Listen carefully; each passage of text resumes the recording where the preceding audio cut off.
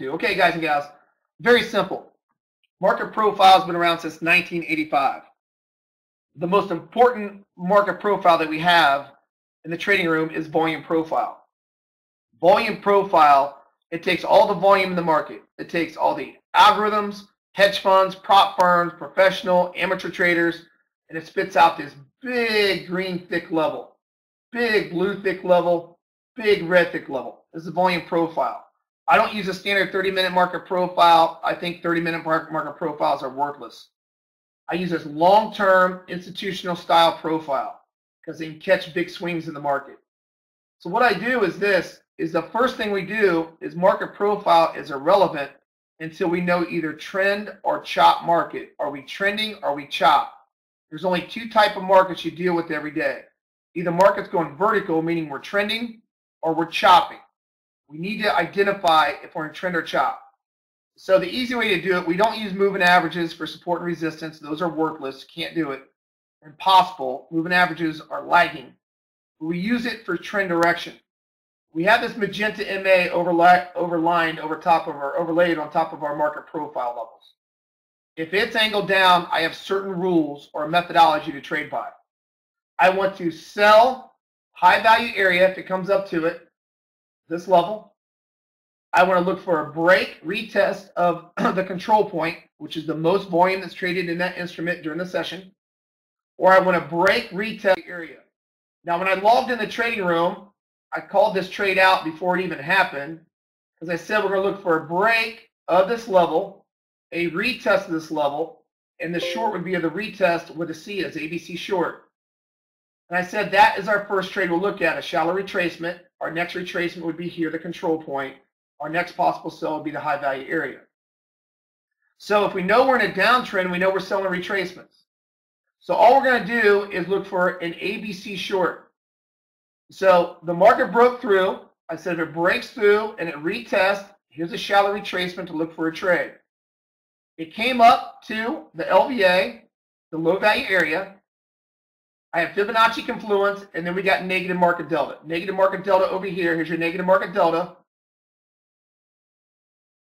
That fired off right there for the trade setup. So there's your negative market delta on the ABC short. We were in a downtrend.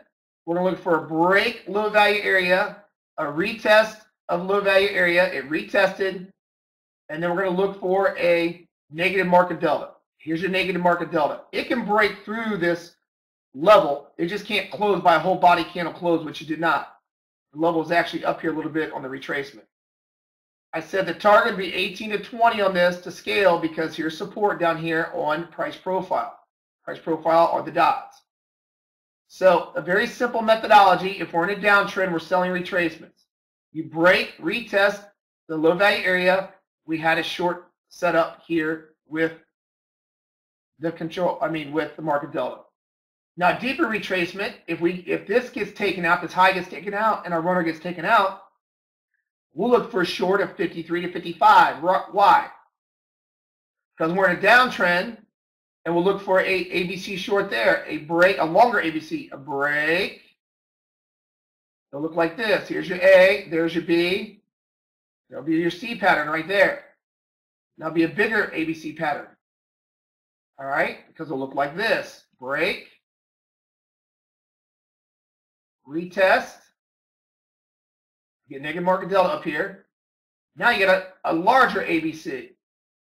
So all you're looking this for is ABC patterns, ABC patterns in the market and play it off market profile. All our trades are generated off market profile.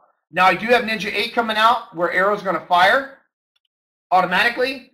So you're going to know if I get an arrow here on Ninja 8, we had four of them yesterday that worked out great. If an arrow fires there, you know it's a great trade because you're already in an ABC pattern, right? You're in an ABC. So it gives you confirmation.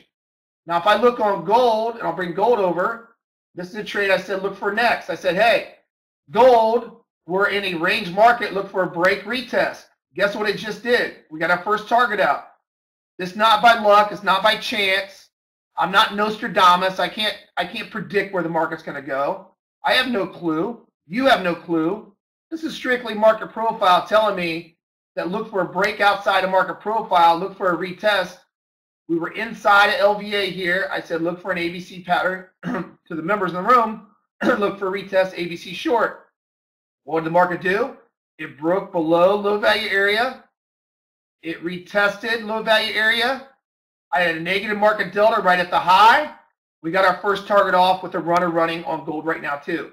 Look how the patterns are exactly the same. I broke through LVA, retested LVA. Continuation. First target off on crude. I broke LVA, I retested LVA, negative market delta, first target off on gold. Now with Ninja 8, like I said, if you get an arrow that fires here also, because my arrows will give you confirmation, if it fires off right at that bar, you have confirmation of a nice trade. Okay? So all these are ABCs. And we have another short up here. This is an ABC short. All your trading is ABCs, guys, all day long. It's been working for 32 years. ABC pattern right there. Break, retest, control, continuation. All right, just like this last one. ABC short. ABC short right here. There's your ABC short that I talked about before it happened. There you go. Same exact pattern. So you're strictly trading ABC patterns when you're in trend market. I mean, it's that simple. You're trending, you're letting market profile break, you let it retest, you're trying to get negative market delta for continuation trades. That's how we do it.